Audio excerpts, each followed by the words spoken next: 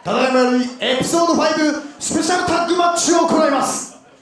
ブルーベリーコーナーリングに舞い降りた白鳥プリマリエあー今日も華麗な前を作成になるか？プリマリエそして戦うお嬢様芸人香川照子！あ香川照子。相手はリアルレスラーだぞ、さあ昔の意地を思い出してほしい。続きましてストロベリーコーナー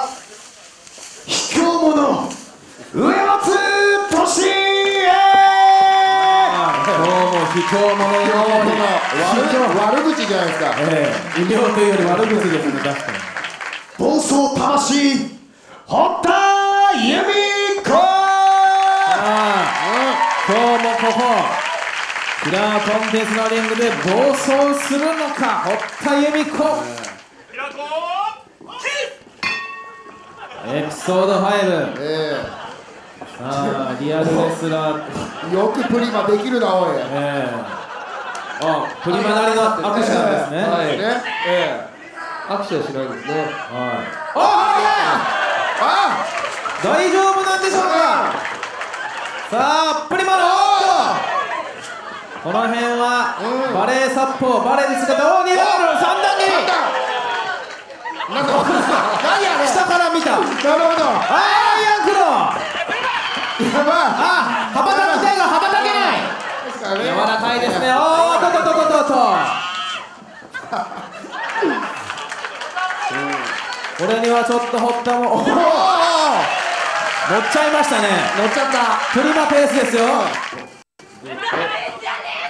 さあ上松のフェラリエットをかわして。うるさいうるさ規制ですね。いうるさい。この大声で。ああそしてドラゴン4本上松吹っ飛んださあこれは読まれた。あもう一発で言うから読まれた。あはい。さあ上松。何を狙う？さあ。あーっと。さあトップロープ。さあ狙うわさあなんだなんだ。やばいやばい。上松の。あー。さあ。もうそうはいかんぞと。さあ堀田が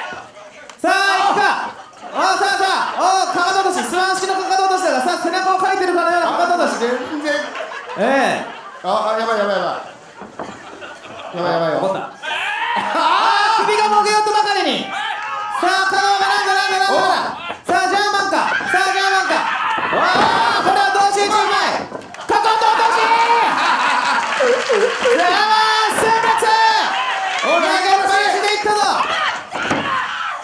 勝ったぞ大金星かと思ったんですがあーやばいやばいやばいこれはこれはアルゼンチンバックブリーカーそのまま上松に投げ飛ばしてさあやっとかわしたぞアイアンクロー。やばいやばいやばい強烈強烈。ギブアップか。ギブアップか